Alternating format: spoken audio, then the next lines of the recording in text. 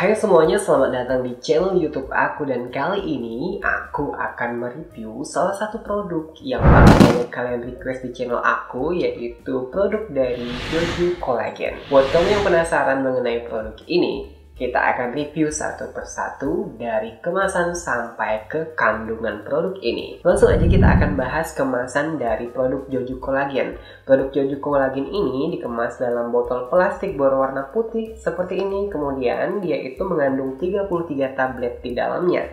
Aku akan tunjukkan kepada kalian bagaimana bentuk tabletnya. Di dalam kemasan botol, kamu akan dapat kemasan plastik seperti ini. Kemudian bentuk tabletnya itu seperti ini agak panjang-panjang dan lumayan agak besar dibandingkan tablet pada umumnya. Karena di sini tertulis dalam satu tablet itu mengandung 1000 mg atau sekitar 1 gram. Katanya Jojo Collagen ini juga pengganti dari produk Gluta-CL dan kalau kita lihat dari kandungannya, dia memiliki kandungan yang lebih simpel dibandingkan dengan Gluta-CL. Apakah kandungannya itu akan berpengaruh kepada hasilnya? Itu tergantung kepada penyerapan tubuh kita masing-masing. Produk ini juga udah terdaftar di FDA atau semacam balai POM yang ada di Thailand karena produk ini adalah produk Thailand. Aku akan taruh di sini kalau produk ini memang udah terdaftar di negaranya. Katanya Jojo Collagen ini udah memiliki sertifikat halal, tapi di sini dia tidak mencantumkan label halal yang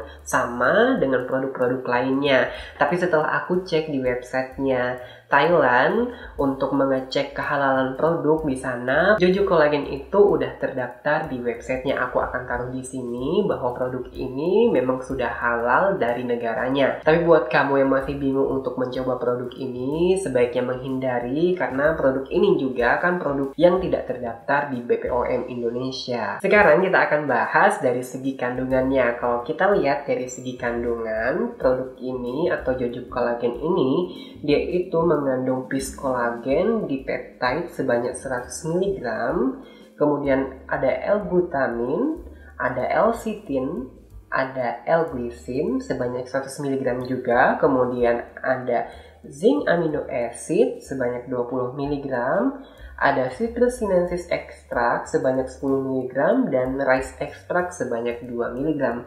Lumayan simpel untuk sebuah suplemen. Karena beberapa suplemen biasanya mencantumkan beberapa banyak ekstrak yang mengandung vitamin C, tapi di sini dia cuma ada satu kandungan yang mengandung vitamin C yaitu citrus sinensis ekstrak. Kalau aku lihat dari bobot kandungannya, dia hanya mengandung 432 mg zat aktif sedangkan sisanya dari 1000 mg itu ada sekitar 500 mg lagi adalah zat tambahan. Jadi yang banyak di sini adalah zat tambahan seperti ada kandungan pemanis, kemudian ada pengatur keasaman, selain itu juga dia mengandung anti caking, lubrikan dan juga pewarna. Karena kita lihat sendiri dari tabletnya itu dia adalah tablet salut selaput. Jadi tabletnya itu dilapisi oleh gula untuk menghindari atau menutupi rasa atau bau yang tidak enak dari tabletnya. Makanya di sini kandungan zat tambahannya lumayan banyak dibandingkan dengan zat aktifnya. Selain itu tujuan dari penyaluran tablet ini agar zat-zat aktif ini larut ke dalam usus kita. Karena beberapa zat yang ada dalam Jojo kolagen ini akan rusak ketika terkena asam lambung. Makanya dia dilakukan formulasi penyalutan agar zat-zat tersebut memang menuju ke tempat sasarannya. Sekarang aku akan bahas satu persatu kandungan dari Jojo kolagen ini. Yang pertama dia itu mengandung bis kolagen di peptide.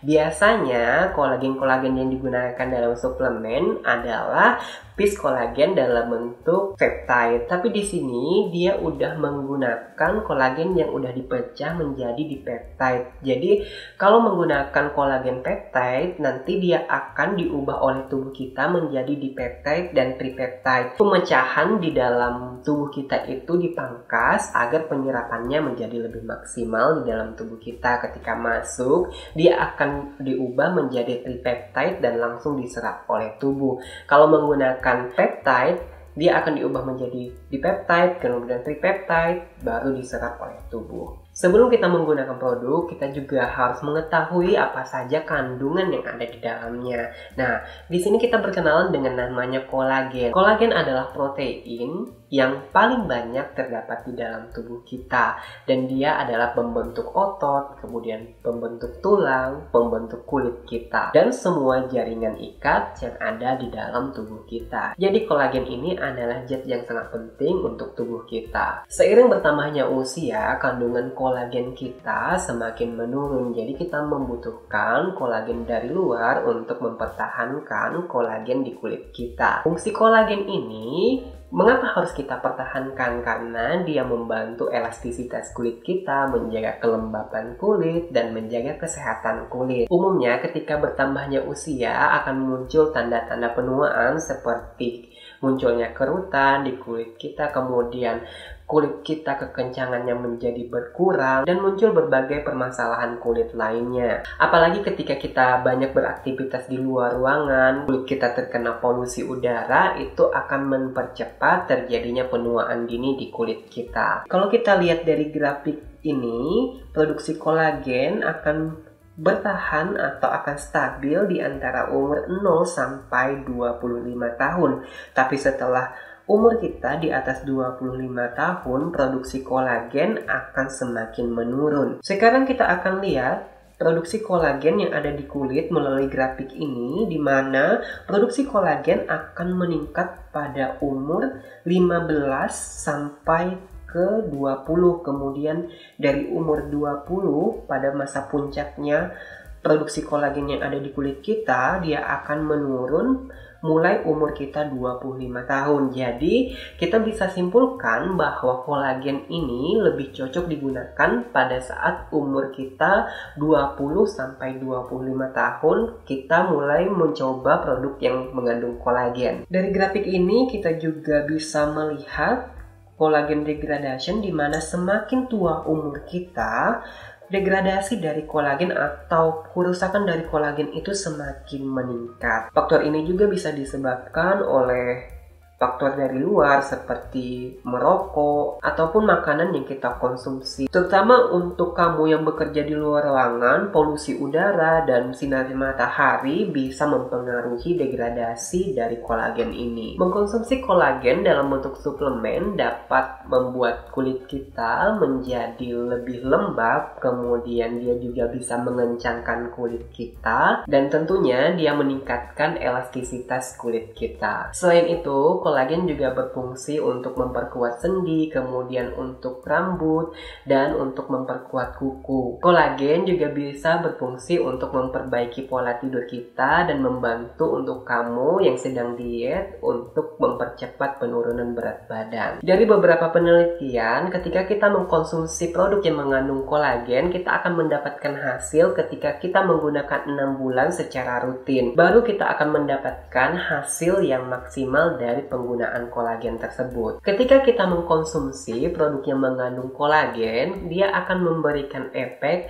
atau meningkatkan kadar kolagen tubuh kita satu jam setelah kita mengkonsumsi produk yang mengandung kolagen. Dan kolagen ini akan dipertahankan oleh tubuh kita selama dua minggu di dalam tubuh kita yang akan membantu kesehatan tubuh kita tidak hanya untuk kulit. Tadi aku mengatakan bahwa produk yang mengandung kolagen akan memberikan efek 6 bulan setelah kita menggunakannya. Karena pada masa 6 bulan itu kolagen dalam tubuh kita benar-benar stabil dan dia akan memberikan efek yang lebih maksimal. Walaupun sebenarnya efek peningkatan kolagen itu sudah kita rasakan ketika satu jam kita mengkonsumsi produk yang mengandung kolagen karena dia tidak bertahan lama dan harus diakumulasikan selama enam bulan oleh tubuh kita. Selanjutnya kita punya kandungan L-glutamin, L-glisin, dan L-cysteine di mana zat-zat ini adalah penyusun dari glutathione yang biasa dikenal untuk suplemen pencerah kulit. Tiga zat ini akan meningkatkan produksi glutathione glutathione di dalam tubuh kita secara alami,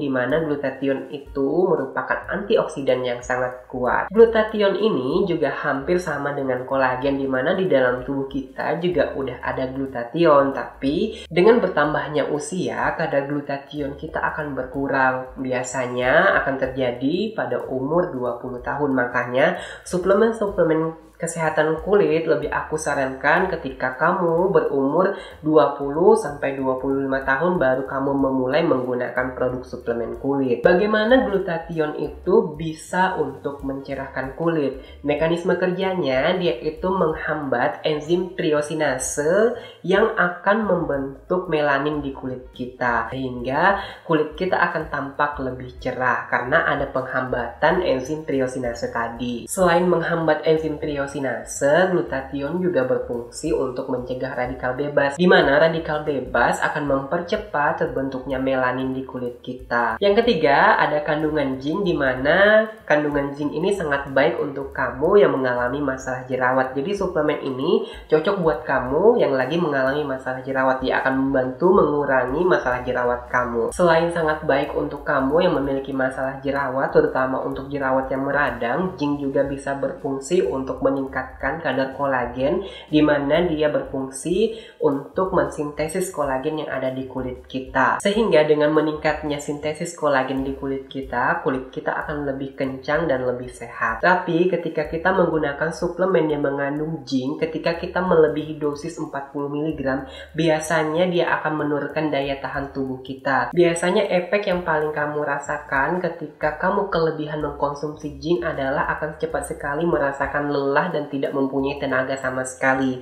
Jadi kamu harus hati-hati jangan melebihi dosis yang digunakan karena di sini jojo kolagen itu udah mengandung 20 mg zinc. Jadi kamu jangan melebihi dosis yang dianjurkan oleh produk ini karena bisa berakibat efek samping di tubuh kamu. Yang keempat ada citrusinensis, ekstrak di mana produk ini adalah ekstrak jeruk yang sangat tinggi akan vitamin C dan flavonoid dan dia akan membantu mencerahkan kulit kita karena ada kandungan vitamin C. Kandungan vitamin C akan bersinergi dengan kandungan dari kolagen kemudian dengan zat-zat yang lain akan membantu meningkatkan kadar kolagen di tubuh kita karena vitamin C ini adalah bahan dasar dari pembentukan kolagen di kulit kita juga. Citrusinensis extract ini juga memiliki efek antibakteri di mana sangat baik untuk kamu yang memiliki jerawat yang meradang. Dia akan membantu mengurangi peradangan itu karena ada kandungan seperti saponin, flavonoid, ada minyak esensial di dalamnya dan ada senyawa fenolik. Yang terakhir adalah rice extract atau ekstrak beras di mana ekstrak beras ini sangat kaya akan ceramide alami. Nah, ceramide alami adalah lemak alami yang ada di kulit kita. Di mana ceramide ini adalah penyusun luar alami kulit kita. Ceramide berfungsi sebagai skin barrier dan membantu mempertahankan kelembapan yang ada di kulit kita. Ternyata ceramide ini memiliki efek memutihkan lebih baik dibandingkan dengan vitamin C ataupun arbutin. Beberapa uji klinis membuktikan bahwa ceramide ini membantu untuk melembabkan kulit ketika diserap oleh tubuh tubuh kita, dia akan dibawa oleh aliran darah ke bagian kulit terluar kita. Selain itu, ceramide memiliki efek anti-aging yang sangat baik dan dia juga mampu meningkatkan penghambatan enzim triosinase yang berfungsi untuk membentuk melanin di kulit kita. Kemudian kita akan bahas cara minum jojo kolagen ini. Jojo kolagen ini cukup kamu minum satu kali sehari satu tablet. Jika kamu mengalami masalah lambung, kamu bisa meminum jojo kolagen ini 30 menit setelah makan. Jojo kolagen ini juga tidak boleh dikonsumsi oleh ibu hamil dan anak-anak.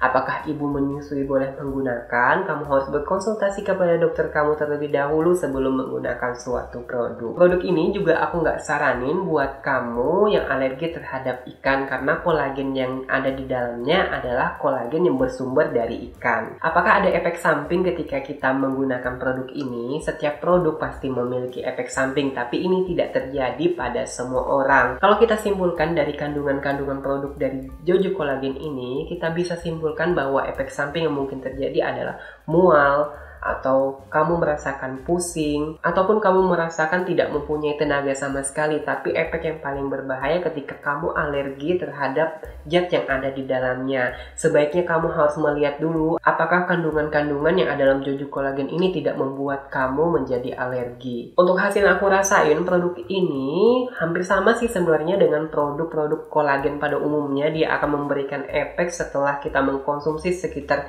Minimal kalau aku sih biasanya tiga bulan dia baru kelihatan hasilnya. Dan apakah hasil itu permanen? Tentunya hasilnya nggak akan permanen. Karena kita harus mempertahankan terus-menerus kandungan kolagen ataupun glutathione yang ada di dalam tubuh kita. Jika kita berhenti, mungkin beberapa bulan kemudian dia akan membuat kulit kita kembali seperti semula. Jadi tugas selanjutnya ketika kita mengkonsumsi produk yang mengandung kolagen ataupun glutathione, kita tinggal merawat merawat dari luar saja ketika kita tidak mau lagi menggunakan produk yang mengandung kolagen ataupun glutathione. Efek yang paling aku rasakan dia benar-benar membuat kulit aku menjadi cerah. Di sini dia tidak membuat kulit kita menjadi putih dan dia membantu jerawat aku nggak muncul lagi. Bahkan aku ngerasain jerawat aku itu nggak muncul lagi setelah dua bulan aku mengkonsumsi produk Jojo Kolagen ini. Kekurangan dari produk ini menurut aku dia itu tabletnya lumayan besar untuk ditelan karena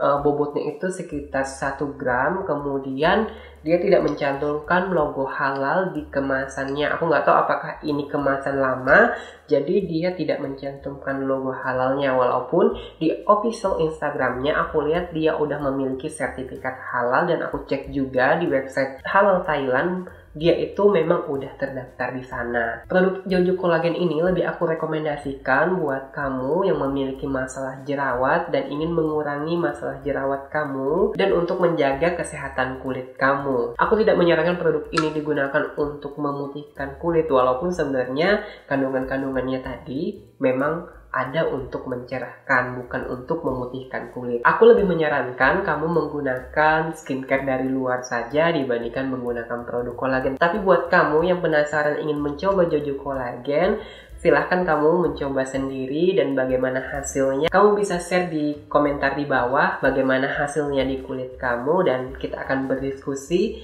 jika kamu punya pertanyaan. Buat kamu yang berminat untuk membeli produk Jojo Kolagen ini, aku akan taruh link pembelian di description box di bawah. Kamu bisa klik link tersebut dan cek harganya berapa. Semoga video kali ini bermanfaat buat kamu. Jika kamu punya pertanyaan, mari kita berdiskusi di kolom komentar. Thank you for watching. Sampai jumpa di video berikutnya.